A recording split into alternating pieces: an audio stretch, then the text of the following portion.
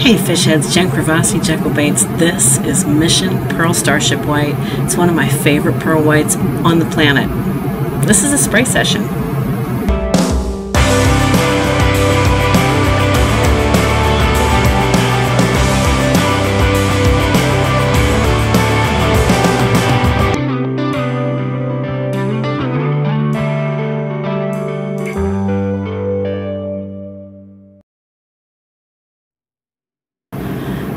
Coming to you live from my office chair in my home studio. And I'm doing an overlay on vocals because this was an incredibly like most most days are incredibly busy day at Bullshad Swim Baits where my studio is.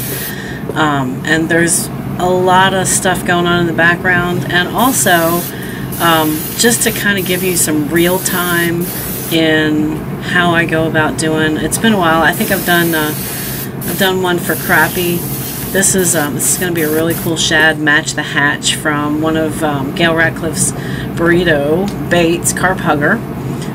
Uh, one of our friends, Chris, goes down to Bacharach and he had a lot of success with Gail's burrito, so he wanted to put something similar in a shad pattern on these lipless crankbaits. And I've got 40 of them total, but I am only doing 20 for the camera today, only because it doesn't take that long to spray a pattern, but what takes an incredibly long period of time these days is my ability to not be interrupted while I'm doing stuff. Or you can see to my left here, the left of the screen, there's um, there's a lot of other projects going on on this particular day. So I generally have anywhere between two and three hundred baits, or you know, a combination of baits and a multitude of orders for both contract and everything else. So it's uh, this Dunkelgrund. This, these are kind of. Um, I'm, I'm, I'm talking to you from the office and I'm, I'm looking at the screen with you guys. So Dunkelgrund and, and the mission, they're basically made for models. So anything from the um, the military models that like tanks and airplanes, things like that, that are really cool colors, but they also, I love using them for fish because a lot of like your Tennessee shad colors and things that are real close to that, um, they look similar.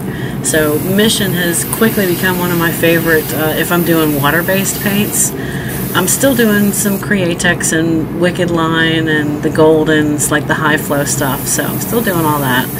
Um, but yeah, so my plate is pretty full, and I know a lot of people are very gracious with my uh, with my turnaround time, and it almost has to be that way because I have obligations that I never used to have before. So this is kind of the way I do things, and I just kind of wanted to, to give you a sneak peek of, of what goes on on a day-to-day -day function at Jekyll Baits and Bullshad Swim Baits. There may or may not be some background noise. I think at one point there were customers in the store. Now, if you've never been to Bullshad, uh, the storefront, we have a really cool storefront that Mike has built pretty much by himself. Um, he did that when we moved to this building from an older building um, that was a little bit smaller. So he got the he got the larger building, knowing that I was coming from Arkansas about four and a half years ago, and it's worked out really well. But I am the very first thing that people see when they walk into the storefront. They see the baits and then they look to the right and there's my studio. And it's really cool to be able to talk to everybody and see everybody, but sometimes it can kind of get in the way because I'm very social. I like to talk to you guys. Uh, love to speak with customers. Love to see everybody's smiling faces when they come in and buy swim baits. Um, but if I'm in the middle of doing stuff, and I seem to always be in the middle of doing stuff, it just gets really hard to get projects completed in a timely manner, at least when I feel like they would be timely, if that makes any sense at all. If I'm rambling, it's just because it's the first time, one of the first times, that I've ever sat here and watched an entire video from start to finish and not been talking during the process. But I wanted to physically shoot this video this way and talk to you guys afterwards just to see how we were doing. Um, I haven't talked to you guys in a while. It's been feels like forever since I've done a spray session. And pretty much what I'm doing with this is I'm adding a real thin layer of that Dunkelgrund, which is a like a military olive drab green, a little bit darker. It's not a color shift, it's just a almost a pearl. A lot of their line on Mission is pearl colors. Um, just adding that real thin top layer to the spine and the very upper sides near the eyes on these lipless. And that lays really, really well over that pearl white. And I didn't show you the pearl white because Lord have mercy if you guys don't know how to put pearl white by now, right? You don't you don't need to see that 20 times. But what I do want you guys to see is the order of which I spray stuff. So if we're looking at this together, this is gonna be like a like a grayish green shad pattern. I'm to do a little bit of bling on it, but it's to be pretty clean. It's going to have uh, a little bit of scaling on it at the very end. And this is just me going through almost like an assembly line. This is similar to how I did the crappy video uh, a couple of years ago in the same studio, but just wanted to do something a little bit different. Um, and it's obviously it's not a swim bait project, but it's based off of a swim bait. So you can hear my air compressor kicking on. That's something else that's really hard. Uh, it's I'm usually when I'm teaching and, and doing videos, I can't go continual shot. Uh, on this, I kind of can because I'm talking after the fact. But the air compressors get loud. Um, there's a lot of background noise that's very difficult for me to to really talk to you guys the way I used to in spray sessions. So we're going to see if this works. If you guys like the way um, this video is coming out, let me know in the comments below. Uh, love hearing from you guys. But we're about seven and a half minutes into this, and I'm still running just the, the basic Dunkelgrun green over that pearl white. And it's a really, like a rich, creamy pearl white and it lays really well. Mission paints lay down really well too. Uh, I've been doing a lot more with lacquers. I've been doing a lot more with um, like the polyurethane. There's urethane paints that I use, polytranspar. Those are fun to use as well. They're more um, taxidermy colors and pretty much have to wear a respirator. I'm actually wearing a respirator now. Um, I use I use my respirator pretty much all the time. And that's another reason why I'm going to try and do vocal overlays on, you know, the voiceovers on top of this because when I'm teaching and I'm painting 20 baits for the camera or even one that's that's got lots of layers or if I'm not using basically anytime I put my my uh, my respirator on I'm painting. Uh, it doesn't matter what kind of paint it is. And that's just I've been doing this for, shoot, over 10 years now, um, professionally, and longer than that, just training myself how to do it. So I just, um, I don't want that stuff in my lungs anymore. You know, I really, I started to feel the difference when I was talking to you guys and teaching and doing a lot of spray sessions back to back. Um, and it, it, just takes its toll. And I'm trying to really, really be health conscious and lung conscious. So that's one of the reasons, or at least another reason, that I'm trying to get this video done the way it is. Now you can see it's kind of like an assembly line to where I'm doing one color, one one performance at a time, basically like one thing at a time, and I'm going through every single one instead of trying to paint one bait all the way through and then the next bait. This just seems to run a little bit smoother. So if you guys are just starting out, you're trying to figure out, well, how can I, how can I get 20 baits done in a fairly quick period of time? So this video, start to finish, is, is about 20 minutes. So in about 20 minutes, I get 20 baits done, except for the eyes. So spray time, it's about a minute a bait. That still doesn't come close to what they can do overseas. Um, it's unbelievable in Japan and China how efficient they've become at painting and spraying. So I can get I can get close, and I'm sure there's a lot of pro airbrushers here in the states that are doing the same type of work. I know Peyton can rock it out real quick too um, over at um, KGB Spro. So it's just it's just doing it time and time and time and time and time again. And one of the things that you know I I had to learn was that if I start doing things like this, the way I'm showing you now, just one step at a time through however many baits I'm doing, um, man, I can get done a lot faster. So it's just, it's been a breath of fresh air, pardon the pun, because I'm wearing a respirator through this video, um, to be able to up my level, I guess, a bit. Um, and I hope that that helps you guys too, that you're saying, hey, you know, just buy a million helping hands and you'll be able to run a production line a little bit easier. Space is another thing that I really don't have a whole lot of in this studio. Um, and I, I, say it from time to time in some of my videos, but I really miss the size of the studio that I had in Jonesboro because I could put the roll-up garage door up on a beautiful day and get some really good fresh air.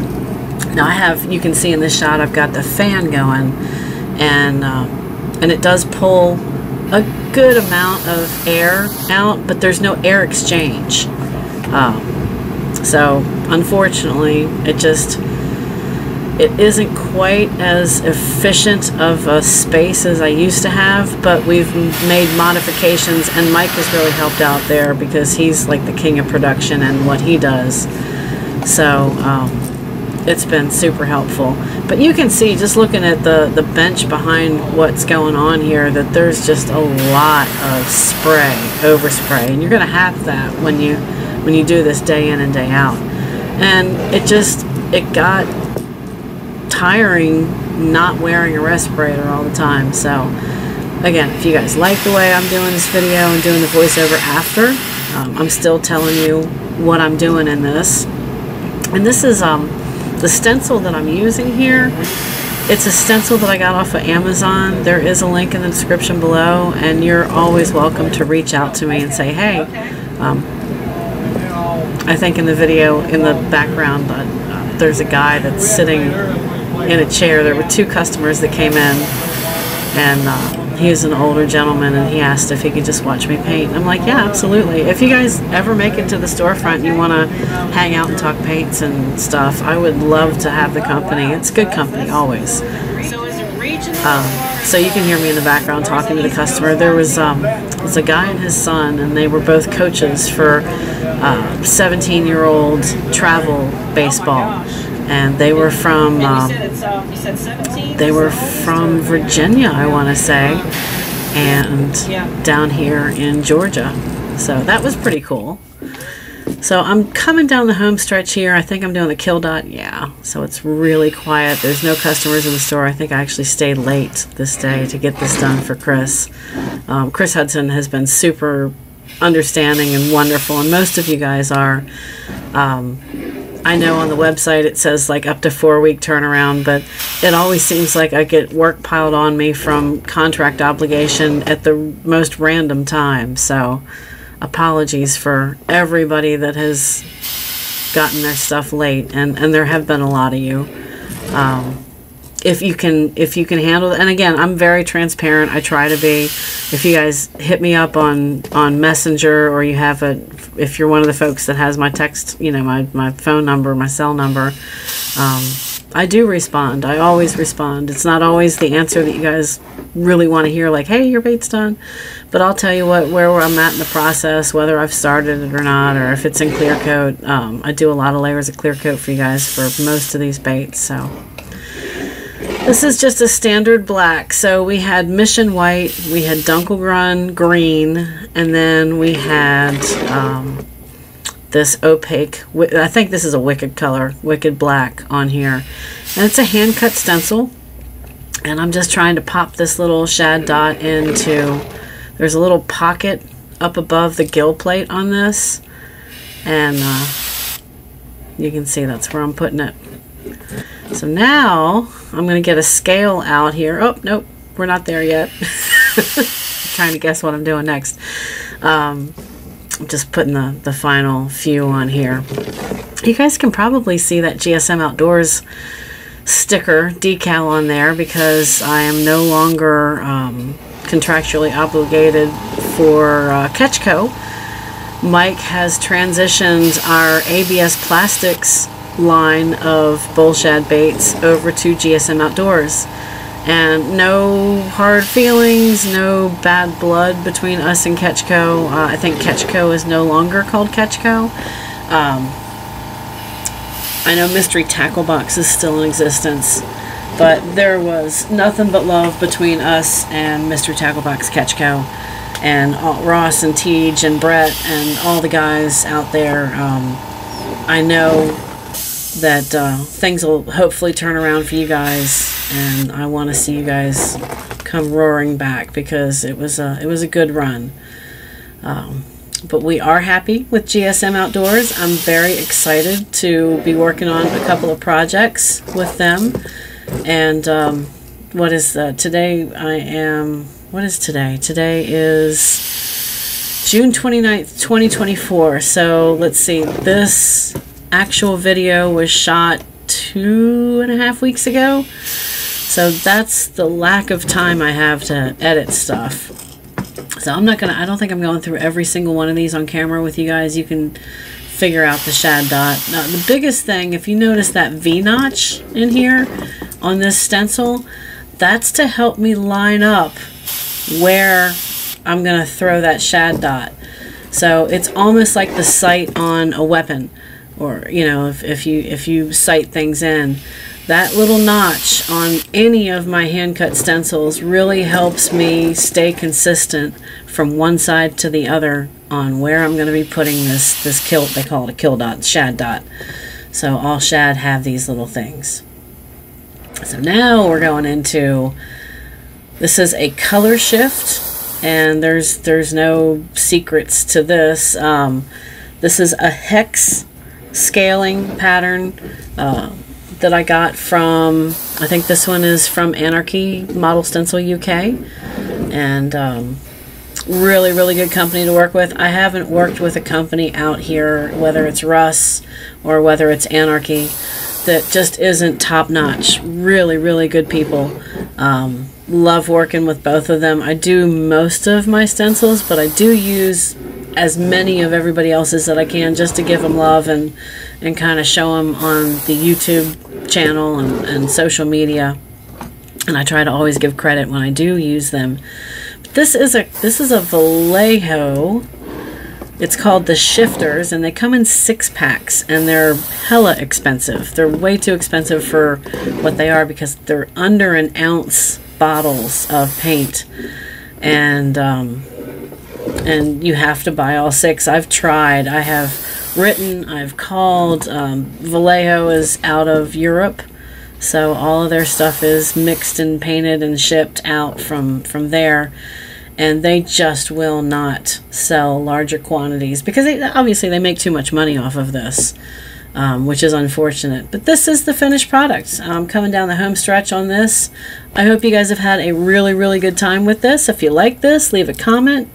Let me know if it was cool for you guys. So you can see that it's very transparent. And I hope you guys have a wonderful day. Cheers and happy casting from Jekyll Baits.